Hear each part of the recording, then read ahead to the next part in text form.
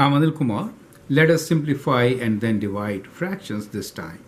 Strategy here is division is reciprocal of multiplication. So we'll first write these division statements as multiplication statements. Then we'll simplify and multiply. Okay.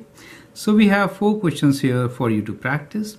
4 over 5 divided by 3 over 7, 3 over 5 divided by 2 over 3, 7 over 10 divided by 3 over 5, and 8 over 15 divided by 4 over 9.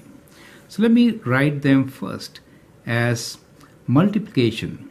So 4 over 5 division is reciprocal of multiplication so we can change division by multiplication but then we have to swap or flip 3 over 7. So we could write this as 7 over 3. So that becomes our multiplication equivalent of the division question, right? Let's do this for all of them.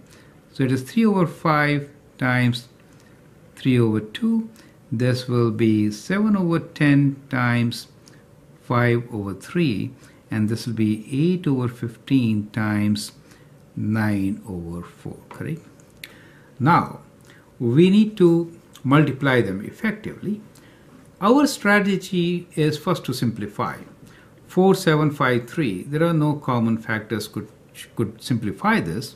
So we'll straight away multiply the numerators. 7 times 4 is 28 and 5 times 3 is 15. That becomes our answer.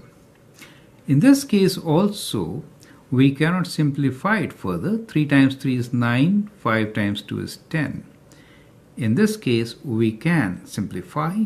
We can actually divide both these by 5 to get 1 and 2. And now we will multiply to get the result as 7 in the numerator, 2 times 3 is 6 in the denominator, right?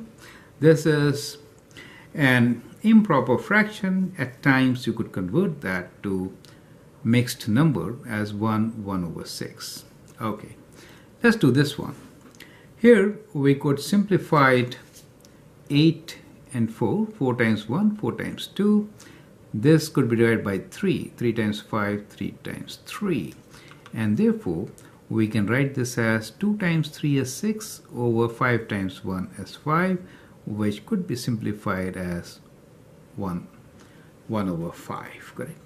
So that is how you can actually divide fractions using multiplication. Remember, fractions, I mean, can be flipped and then multiplied, which is equivalent to division, as we did in our examples.